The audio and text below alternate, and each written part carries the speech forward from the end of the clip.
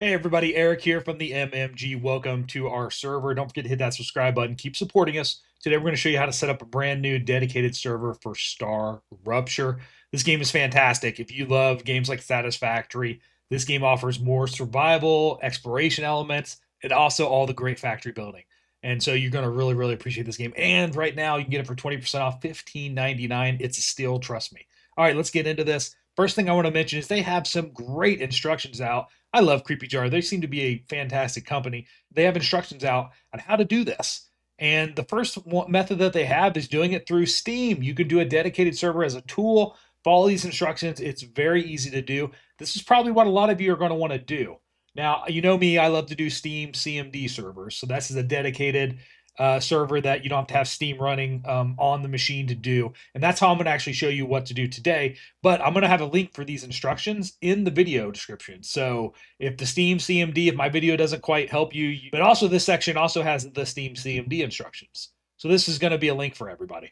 And again, you need to know how to forward ports. If you can't do that, nobody externally is going to be able to join your server. So, all right, let me turn off this stupid camera and let's get down to starting and creating our own server. All right, we're going to start with the very beginning. If you do not have Steam CMD, you're going to have to download it. If you do have it, you can skip this step right here, but just Google Steam CMD like I've done right here. Hit enter. It's going to be this top link, Valve Developer Community. Click on that. And then you're going to see a download Steam CMD option there. There's a Windows and a Linux client. We're on Windows. I'm going to show you how to do the Windows client. So click on Windows, and then at the very top, there's a link here and it says download Steam CMD for Windows. Click on that. It's going to download it wherever your downloads go in your browser, and it's going to be a Steam CMD.zip. As you can see there, if you've seen that flash up, I've now downloaded this 16 times doing these videos. But anyways, um, once you have that downloaded as a zip, you want to extract it, and you want to put it somewhere where you can remember where it's at. I always recommend somewhere like if you have a D drive, that's perfect. Um, if you don't, you just have a C drive, maybe make its own folder on the C drive maybe call it Steam CMD. That's what I like to do. And then you just need to go into it and open it. And so mine, I have a shortcut here on my desktop, and then it opens right here is my Steam CMD. And then when you extract it, you should only have this file here if it's brand new. If you've done this before, you'll have lots of files here. That's normal. But you just want to double click on it and run it. And it's going to take some time and download and start to fill up your folder if it's the first time or it's going to update it if it's been a while since you've done this. But what you're looking for is you want it to come to a prompt like this that says Steam, and you, we're going to log in. Just type in login space anonymous, A N O N Y M O U S, just like that, and then hit enter. Some games require you to log in with your Steam account. Those games make this a lot harder, and luckily, Creepy Jar has been did it the right way, and you can just log in anonymous to do this, so you don't have to. Now, the games that require you to log in require you to own the game. So you have to log into a Steam account that actually owns the game to do this on some games. But this Star Rupture is not that way, thankfully. Uh, once you get logged in here at this prompt, we're going to type in app underscore update and then a space. And then you're going to punch in the code. And this is found on that website link if you don't have it handy or you hopefully you wrote it down. Uh, and the code is to download the correct files. So the server files are what you want to download onto your server. Every server has their own code, and so you have to find that. Now, this particular code is 380. Whoops, I'm not typing in my browser, sorry. 3809400. And then you hit enter. Now, the instructions on their website show you how to make a .bat, which will automatically do all this logging in for you. Definitely do that. It's not hard. In fact, you know what? I'm going to show you how to do that. This is the way to manually do it. If you need to update your server, you can do it this way, and you do what I just did there, and it will update to the new files. So right now, I'm downloading all the files for the first time, and um, it may take a little bit of time depending on your internet and speed connection. So while that's doing that, we're going to copy from the website. So hopefully, oh, I shut my website down. Hold on, let me find it again. So let's go to Creepy Jar's website again. We're going to scroll down to the Steam CMD. And right here, they have the command that you need. And this is saying that you have Steam CMD installed in this folder right here in your C drive. So this is where you can run into problems because if you did not put it in your, uh, if you didn't create a folder in your C, Steam drive called Steam CMD, then this this is not going to work for you. So, um, but anyways, let, let me show you how to do this. So we're going to copy this this code right here. So we can use most of it. So what I want to do is I want to right click wherever I put my Steam CMD.exe folder, right?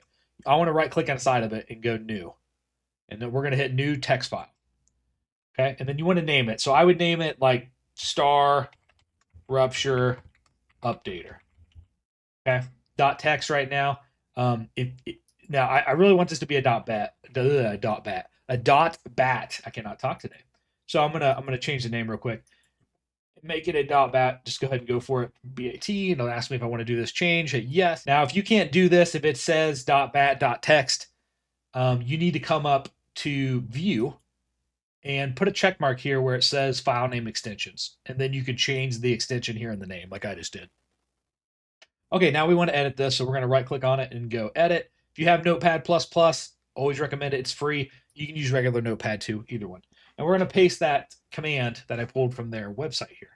Now, if you are in a different location than this C drive right here, or if you're putting this into your folder like I just did, this is going to be way easier because you can just delete all this out. You can delete all this C drive, Steam CMD. This is a folder because we really just wanted to execute Steam CMD.exe.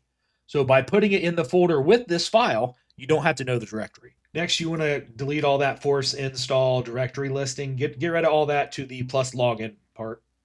So your dot .bat should look like this, login anonymous plus the app and the app number, and then the validate and quit. Now, if you're going to use this to update, when you do the validation portion, it's going to actually overwrite your dot .bat.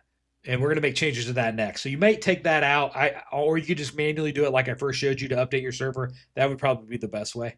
And don't forget to save the file once you have the changes made. All right, now that that's done, let's actually start the server. And so you want to go back to your Steam CMD folder, go to Steam Apps, go to Common, go to Star Rupture Dedicated Server, then here is your actual server files. You're going to have one here called SR server with log.bat. That's what we are going to edit. That's the how you, you will start the server. So if you right click on it and go edit with Notepad++, you're going to see this is very, very basic. This is just basically going to start the server for you. That's it. And they have notes in their little wiki page or whatever you want to call it about what to do. But what you want to add is a multi-home and a port to the end of it. So the multi-home, not everybody needs this. Some people will need it. Some people will need to use their internal IP address, like I'm using here. This is the internal IP address of your server. So your server's internal IP address would go there. Some people are going to need to use their external IP address here. I don't know why. Everything functions differently. I'm sure there's a reason, but if one doesn't work, try the other. So mine is my internal server address, and then the port is is there too. Some people won't need multi-home at all, all they'll need support, but this works for me and this will hopefully work for you. So not this IP address. You got to find your own internal server IP address. Just log into the server, open a command window, type in ipconfig slash all, and that will tell you what your internal address is if you don't know it. And uh, there's a link on the the wiki page from CreepyJar about how to find your external address, and that is found through um, a web website. A bunch of websites will do it, but um, you can do it through the one on there. I think it was Find My IP is the address that they use. All right, so once you have this set up like this, hit File Save. We're going to close. Now, we're just going to execute this, okay? So we're just going to double click on it to run it. It's going to pop up the window. It's going to take a little bit of time to get everything spun up. Just let it go. I don't know, give it a minute. Go use the bathroom, get a drink, whatever you need to do. Eventually, it'll stop scrolling, hopefully. If it keeps scrolling, you got some kind of an error. It's in a loop. So then, then it can be a little bit of a problem. You got to find what the, what the error is. Um, hopefully you can see it scrolling by, though it's kind of hard. Um, but yeah, anyways, not a lot of fun there. But hopefully you'll get stopped at a screen about like this. This is where you want to be. Now, you want to leave this running. Your server's technically up, but it's not really visible for other people yet. You need to log in and get it set up first. And so you need to open, go to your computer that you're going to actually play the game on, okay? And you need to open your Star Rupture. All right, once you have Star Rupture open, you want to go down here and click on Manage Server. And then this is going to be the IP address. Again, could be your internal IP address, could be your external IP address. Try them both. One of them will hopefully work. For me, I had to put in my external IP address. Then hit connect. And if it pops up this asking you to enter a password, that is what you want. That is good. This is setting up your admin password for the server. It's got to be, I think, at least six characters, maybe more. I'm not sure. But you got to set up the password and then hit confirm. Now, this is where you can you can set a password up. If you hit change password here, you can set up a password for the server. So this is for other people to connect to the server, not your admin necessarily. Then you hit confirm. All right. Now you need to hit new game because you're creating a new game and you need to give it a session name. And then you need to hit start game. And you have to be patient. I know it looks like nothing's happening. It's trying to load the server. Session is running. There we go. It worked. That's what we wanted to see. Now, now that it's running, you should be able to join it. So if you hit join game and click on dedicated server and then punch in your address, this is going to be your external. If you're on the internal network, it could be your internal. But if you're having uh, someone join from outside your network, they'll have to use your external IP address. And then the password for the server. Hit confirm. And boom, we're in our server. I have read where some people who are having issues here have stopped their server. Let me show you how to do that real quick. Once it loads in, just to show you guys, there's a screen to pick your character. It's what we want. Now, if you are having issues, and I'm going to also show you how to shut down your server the right way. When you back out here at your server screen, like you're seeing here, you click on the browser or the window, right? So click on the top of the, the window and hit Control C. Sometimes you got to hit it twice, but that will force a shutdown. That's how you can shut down your server and then you basically run the stop bat again to start it back up. And some people have said that have fixed their issues. So if you're having issues not connecting to your server, try that a couple times see if that fixes it for you. All right, that wraps it up. You should be able to run your own Star Rupture server just like we did.